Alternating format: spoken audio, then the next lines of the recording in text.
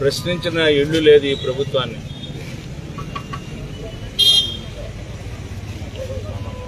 మరి ముఖ్యంగా శానిటేషన్ సంబంధించి అప్పుడప్పుడు కనపడతా ఉన్నారు. గత ప్రభుత్వంలో ప్రతిరోజు కూడా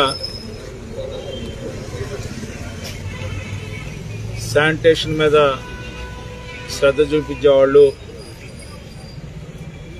వాళ్ళ దోమలు మయమైపోయినాయి. అంతేకాకుండా గతంలో ఎప్పుడు కూడా చెత్త పన్నుకి తావు లేకుండా ఎలాంటి పన్నులు వేయకుండా ఇంటి పన్ను పెంచలా కరెంటు బిల్లు పెరగలా నిత్యావసర వస్తువులు కూడా ఎక్కడ పెరిగిన సందర్భం మేము చూడలా. వాళ్ళు ఏ వస్తువు చూసినా కానీ ఈ రోజున సామాన్య మానవుడికి అవసరమైనటువంటి నిత్య జీవితంలో కావలసినటువంటి ఏ వస్తువుని చూసినా కూడా ప్రతి వస్తువు యొక్క ధర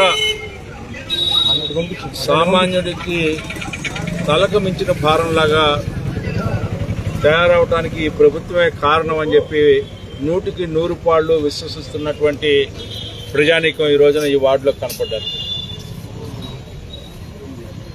కింద తరగత మధ్య తరగత లేకపోతే వెనకబడ్డ వర్గాల బీసీలా ఎస్సీలా ఎస్టీలా మైనార్టీలా అనేది కాదు.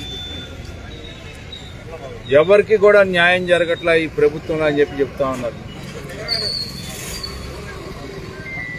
లక్ష ఎనిమిది వేలు ఇవ్వాల్సినటువంటి మహిళకి ముప్పై ఏడు వేల రూపాయలు ఇచ్చి సరిపుచ్చినటువంటి దొంగ ప్రభుత్వం. ఎన్నికల ముందల ఎస్సీ ఎస్టీ మైనారిటీ నలభై ఐదేళ్ళు నిండిన మహిళలకి నెలకి మూడు వేల రూపాయలు పెన్షన్ ఇస్తా అని చెప్పినటువంటి ప్రభుత్వం. ఏమైపోయినాయి నీ మాట? మాట తప్పడు మడమ తిప్పడు అన్న నాయకుడు రూపాయికే ఇల్లు కట్టిస్తా అన్న నాయకుడు కట్టిన ఇల్లు కట్టి ఇవ్వడానికి కూడా గతి లేనటువంటి ప్రభుత్వం ఈ ప్రభుత్వం కాదా అని చెప్పి నేను అడుగుతా ఉన్నా. ఎందుకు పేదవాడంటే మీకు అంత అసహ్యం? ఎందుకు పేదవాడిని చిన్న చూపు చూస్తా ఉన్నారు. ఇవాళ ఎక్కడైనా పాలన ఉందా అని చెప్పి నేను అడుగుతా ఉన్నా. ఒక క్యాష్ సర్టిఫికేట్ తీసుకోవడానికి ఐదు వేల రూపాయలు అడుగుతా ఉంది మీ ప్రభుత్వం. ఒక పేరు చిన్న పేరు తప్పు పడితే ఆ పేరు మార్చడానికి పదివేల రూపాయలు అడుగుతుంది మీ ప్రభుత్వం. ఒక చిన్న సంతకం కోసం ఎవరి దగ్గరికి వెళ్ళాలో తెలియదు. సచివాలయాలని చెప్పారు. ప్రజల దగ్గర తీసుకొచ్చామంటున్నారు. ప్రజల దగ్గర తీసుకొచ్చింది ప్రజాసేవ చేయడానికా లేకపోతే అవినీతిమయం అవటానికా అని చెప్పి నేను అడుగుతా ఉన్నా. ఈరోజు కరెంటు బిల్లులు గత ఐదు సంవత్సరాల్లో ఒక్క రూపాయి పెరగకపోతే ఈ మూడేళ్ళలో ఐదు సార్లు పెంచిన గంట ఈ ప్రభుత్వం అందని చెప్పి మనం చేస్తాం. ఇంకా పెంచాలని చెప్పే ప్రయత్నం. ఈరోజు రంగులు వేసుకునే కార్యక్రమం చెప్తే రంగుల పార్టీగా ఉంది చెప్తే పేదవాడు అభివృద్ధిని కాంక్షిస్తూ ఒక కార్యక్రమం చేశారని చెప్ప చెప్పండి. వాళ్ళ అమ్మఒడి అని చెప్పి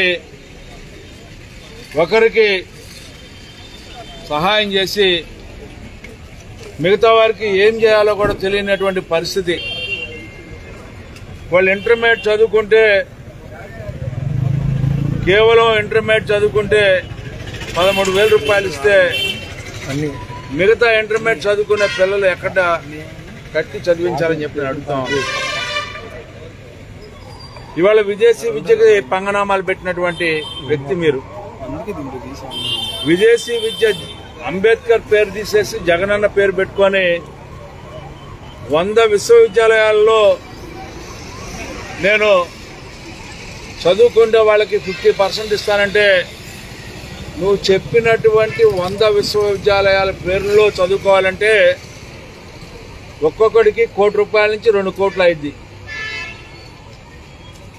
ఇవాళ ఏ రకంగా ఉందంటే అంటే యాభై లక్షలు కట్టుకునే పరిస్థితి విదేశీ విద్యకలు చదువుకునే పరిస్థితి పేదవాడికి ఉంటే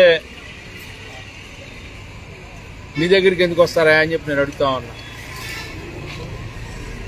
ఈ రోజున వైద్యం పేరుతో కూడా మళ్ళా గుర్తు చేస్తా ఉన్నా ఈ ప్రభుత్వానికి. కరోనా సందర్భంగా మరణించిన వ్యక్తులకి మీరు ఆర్థిక సహాయం చేస్తామని చెప్పి ప్రభుత్వ పరంగా సుప్రీంకోర్టులో ఒప్పుకున్నటువంటి మీరు ఎక్కడన్నా ఇచ్చారా అని చెప్పి నేను అడుగుతా ఉన్నా. రాష్ట్రం మా వంతు కార్యక్రమంగా మేము నమోదు చేసి ఇస్తామని చెప్పినటువంటి మీ సహాయం ఏ యొక్క కరోనా సందర్భంగా చనిపోయినటువంటి కుటుంబానికి సహాయం చేయడం జరిగిందా అని చెప్పి సందర్భంగా అడుగుతా ఉన్నా. ఇన్ని తప్పులు మీ దగ్గర పెట్టుకొని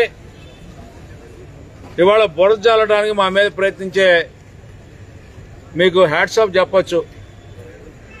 ఎందుకంటే అబద్ధాల మీద అబద్ధాలు ఆడి